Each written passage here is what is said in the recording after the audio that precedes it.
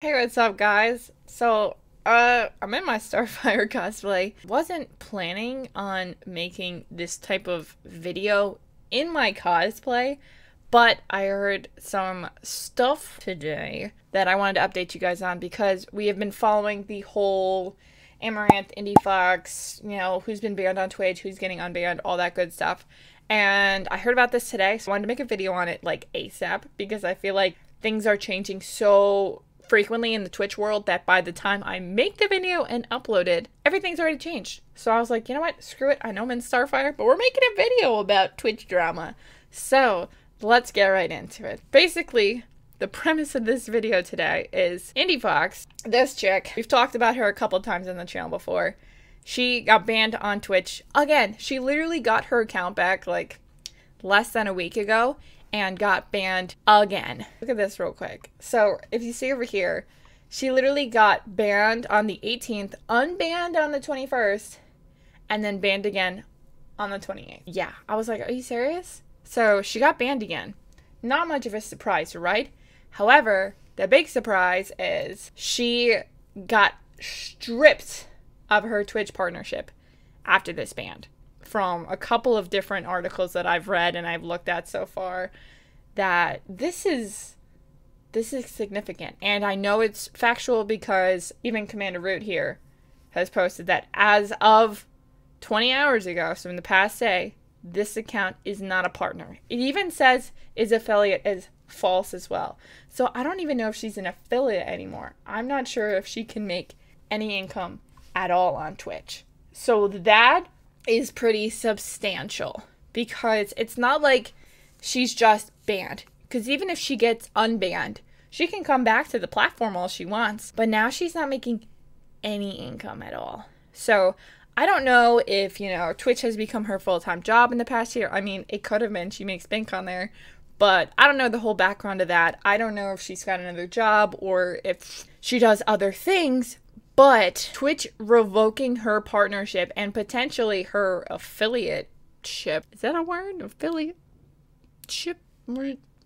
Anyways, Twitch revoking her opportunity to make income on the platform is a big deal because it's not really something I've seen them do a lot in the past. Like, obviously, they've taken away, you know, some ad revenue or they get banned for X amount of days or whatever. But stripping somebody of their partnership, I feel like doesn't happen very frequently without the person just being permabanned. Now, they haven't said if she's permabanned. It was about three days ago now, so I expect in the next day or two for her to potentially get her account back.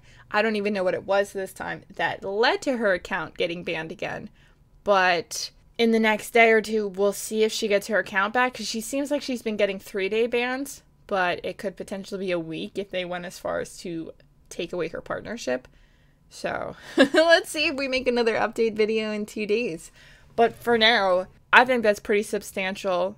I I don't know what this means for creators like Amouranth or other individuals in the both ASMR, the hot tub streams, the just dances even are getting a little sketch. So other content creators in those categories that kind of push the boundaries a little bit.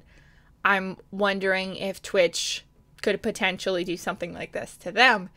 Even I think with someone like Amouranth, I don't know what her agreement is with Twitch I do know that the larger you get as a partner, you can negotiate your contract. So I don't know if she's negotiated it or changed it or whatnot.